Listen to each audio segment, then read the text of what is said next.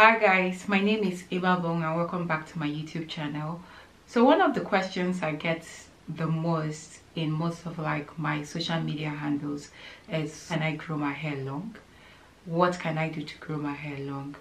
And today I'll be sharing three things that you can do that if you do consistently you and I can grow that healthy long hair that we're craving.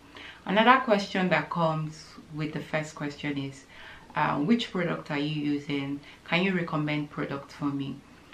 The thing is, why products are very important to the maintenance of our hair. We need, of course, we need like a shampoo to cleanse our scalp and a deep conditioner to like strengthen our hair.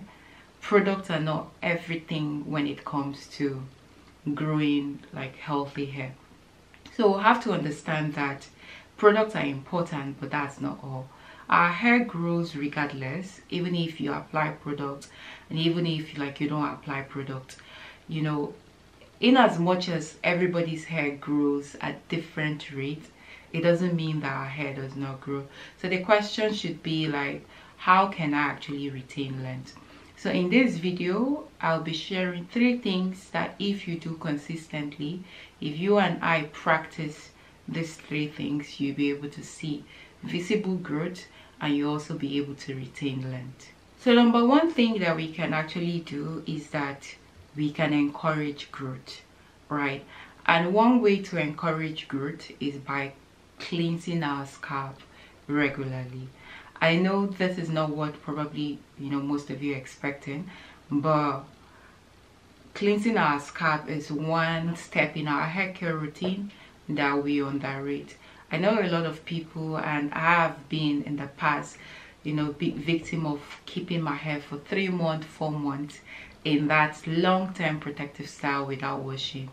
In fact, we shouldn't even talk about like the smell that comes out of it, but I am here to remind you that your hair actually needs like a clean scalp to be able to grow.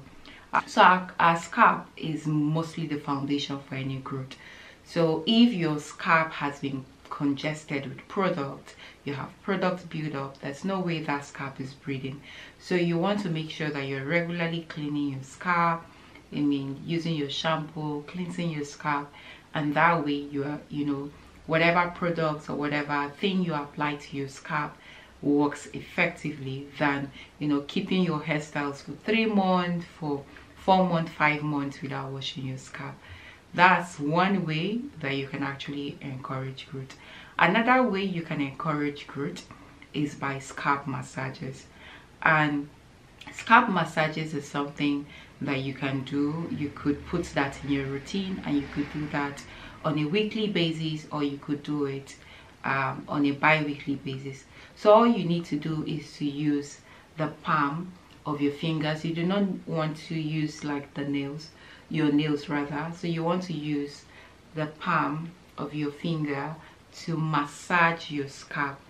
You can do this with products or without products. So you massage your scalp. You don't have to do this every day. So you could set a routine and you do that on a weekly basis or on a bi-weekly basis what happens when you massage your scalp is that blood flows to that area of your body. So you know even when you're massaging your hand sometimes you discover that it becomes red or you know you're rubbing a particular area of your skin it becomes red. The same thing happens to our scalp. So when you massage your scalp you're allowing blood to flow to that area of your scalp transferring nutrients to that area that way promoting growth. So that's another way that you can actually like encourage growth. Another thing that you can do to encourage growth will be to eating a balanced diet. I mean our hair grows from the inside out. So if say for example you are incorporating all those vitamins and minerals into your um, meals and into your diet vitamins like vitamin a vitamin c uh, we have our zinc and we have our ions.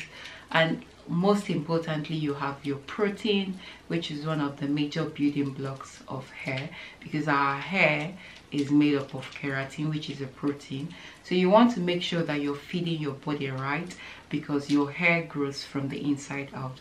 So you're giving your body enough um, nutrients those necessary vital nutrient it needs to be able to flourish from the inside out. Remember that some people may not be born with sparse hair. Sometimes because of stress because of poor diet, dietary um, choices we discover that our hair starts thinning off and in fact one major reason why some people experience early alopecia is because um, blood or nutrients has been starved in that particular area of your scalp. So you want to make sure that you're feeding yourself from the inside out well. You're you know you're taking those minerals and vitamins. That way you're also like encouraging growth. You're promoting like healthy hair to grow from your scalp. I remember specifically when i used to take smoothies. I still take green smoothies but like i discovered that i could see like a lot of hairs really growing.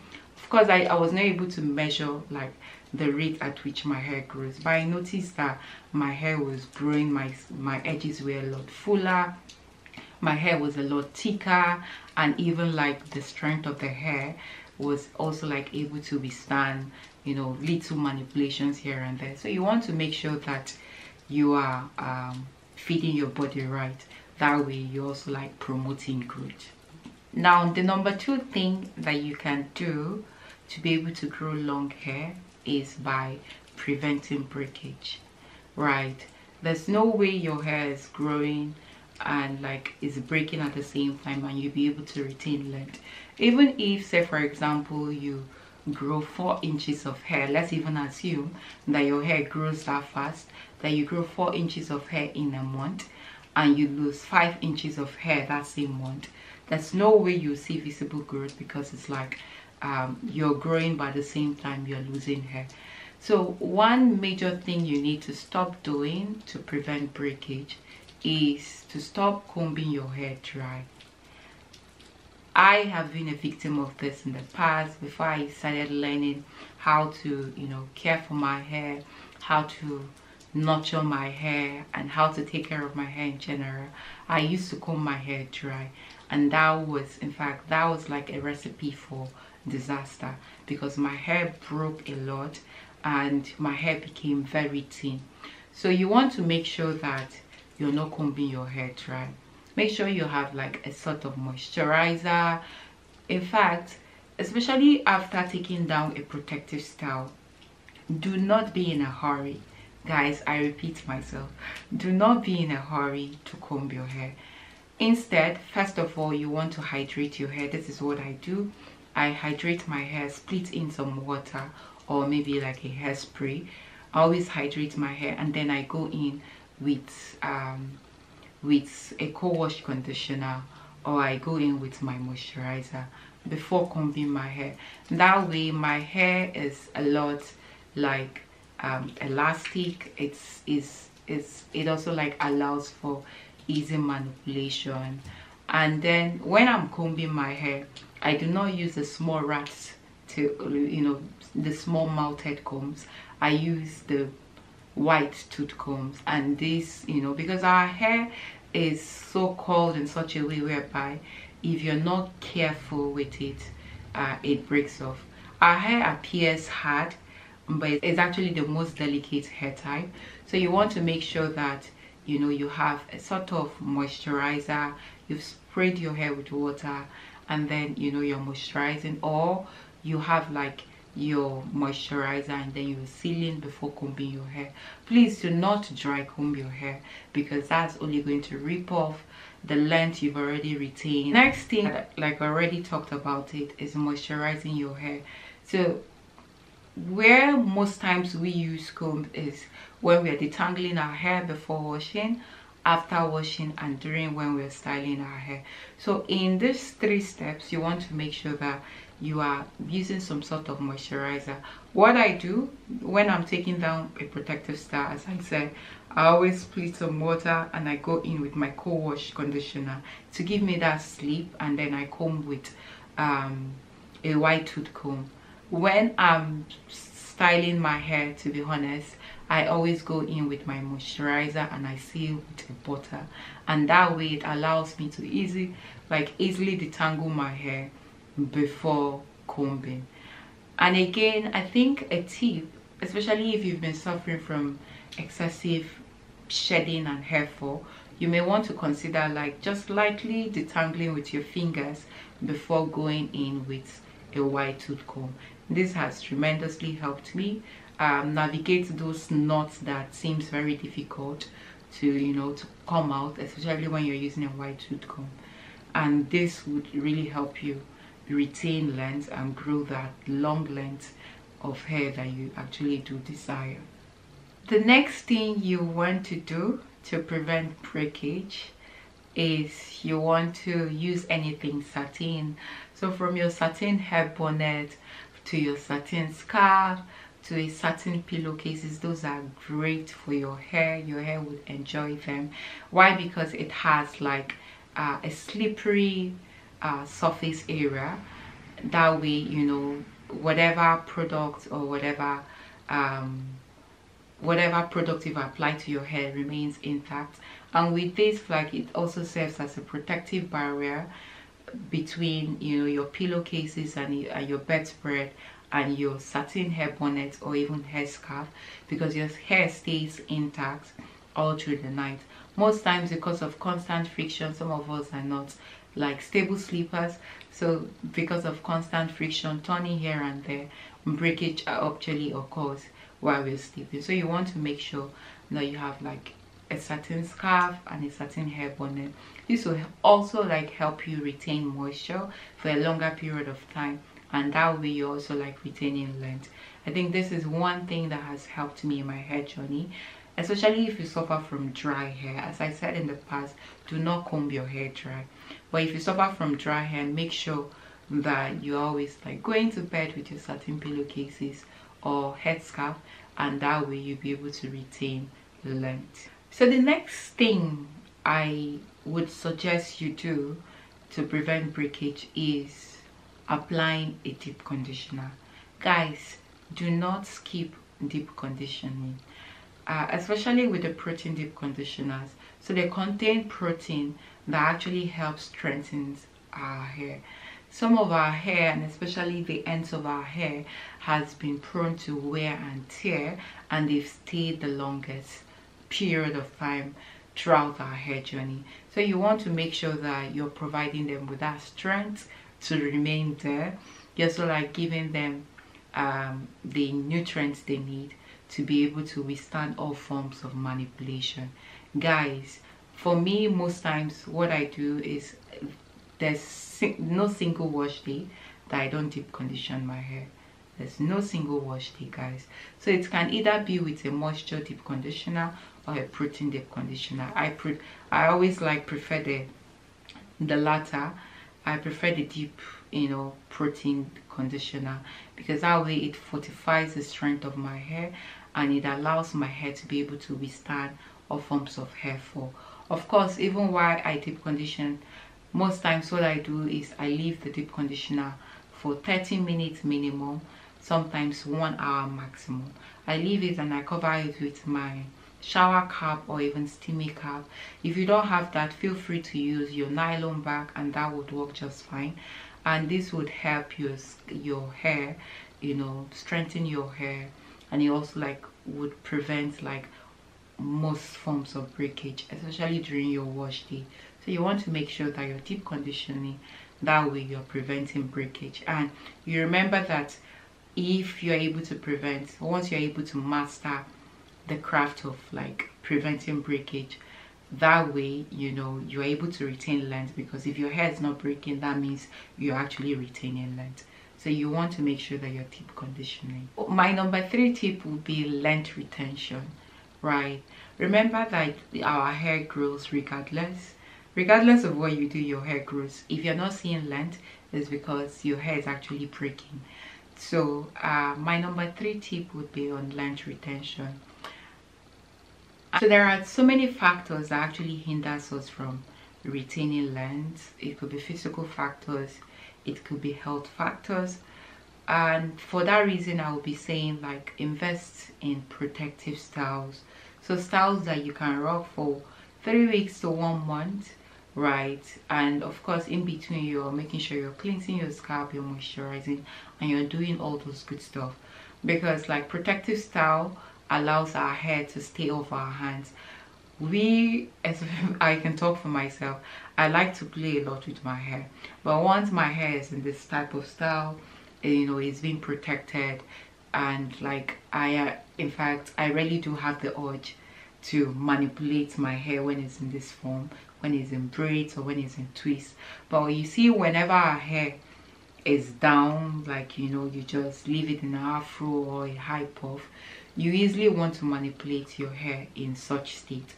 So you want to make sure that you're investing in a protective style. You could be twists find what works for your hair type really. So it could be twists it could be braids. I would highly recommend that you keep your protective if it's a long-term protective style at least keep them for four weeks to six weeks before taking down. And this gives your hair enough time to rest than constantly manipulating your hair remember that constant manipulation will definitely lead to breakage.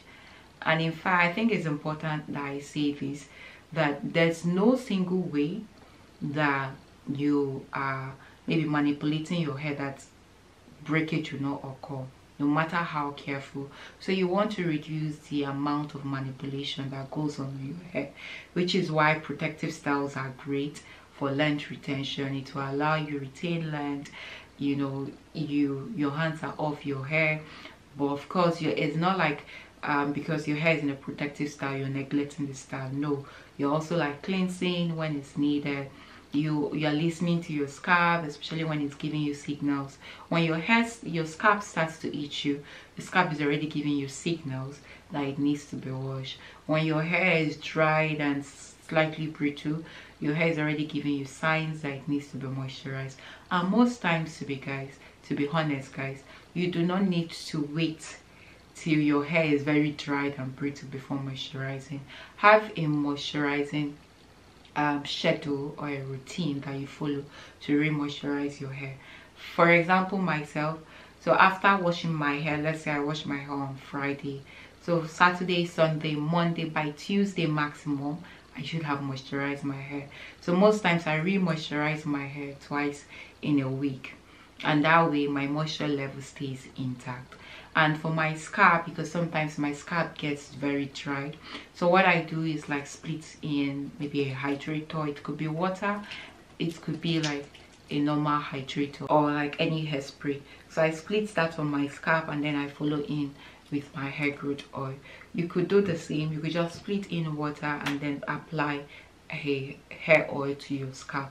And that way your scalp and your hair stays happy till the next wash day. Another thing i would say um, you need to stop doing if you're going to retain length is keeping your hairstyles for three months four months five months and even like half a year. Guys i think that's just too much. Ladies we need to know that um, when your hair is in such a very long term protective style what happens is, is, is that it begins to mat at the root of your hair. It begins to tangle so much because it's been in that protective style for a very long time. So you what you want to do is is either you're going on a low manipulation style that would last two weeks one week or you are doing like a long-term protective style that would last four weeks to six weeks maximum please do not go three months four months without taking down your protective style.